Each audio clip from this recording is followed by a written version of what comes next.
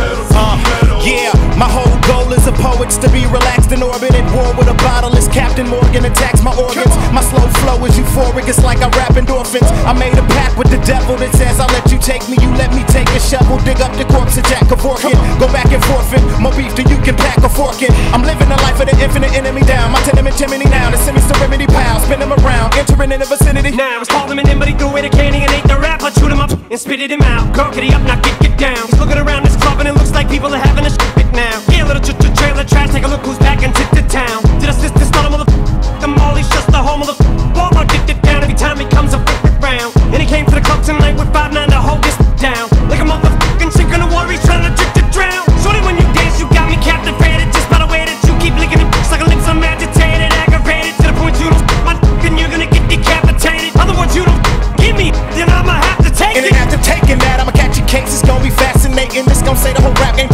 on top of the affidavit. Graduated from master debater slash massive beta to Michael Jackson's activator. Meaning I'm on fire off the top. Might wanna back up the data. Rolling over hip hop in a verbal tractor trailer. Homie, they sick. You can normally ask a hater. Don't it make sense? These shell cases is just like a bag of paper dropped in the lap of a tax evader. Homie, they spit. I make that drop like a sack of potatoes. What girl on the crackulator? Percolator, this party. Be my you later, later. Tell your boyfriend that you just struck pay that you're rolling with a player. You won't be exaggerating when you say it, Living life